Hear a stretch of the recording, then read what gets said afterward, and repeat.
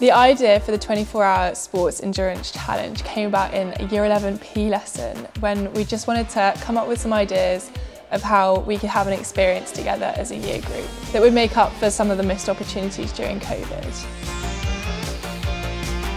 It was a great opportunity to raise lots of money and make lots of memories with my friends and it's amazing to see that our legacy has stayed on and that girls are still doing this challenge.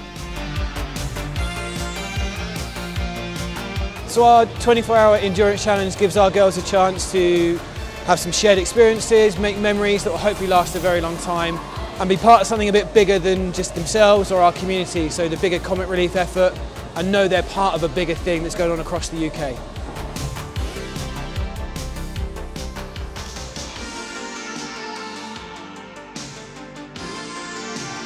I'm really looking forward to doing this next year to raise money for a good cause. Um, to spend time with my friends. And to make memories with my friends. I did this challenge last year and it's really nice to see everyone getting stuck in again. I really enjoyed how everyone came down the hill at lunchtime just kind of support us and also the teachers getting stuck in and on the bikes as well. It's really cool. I hope to see it again.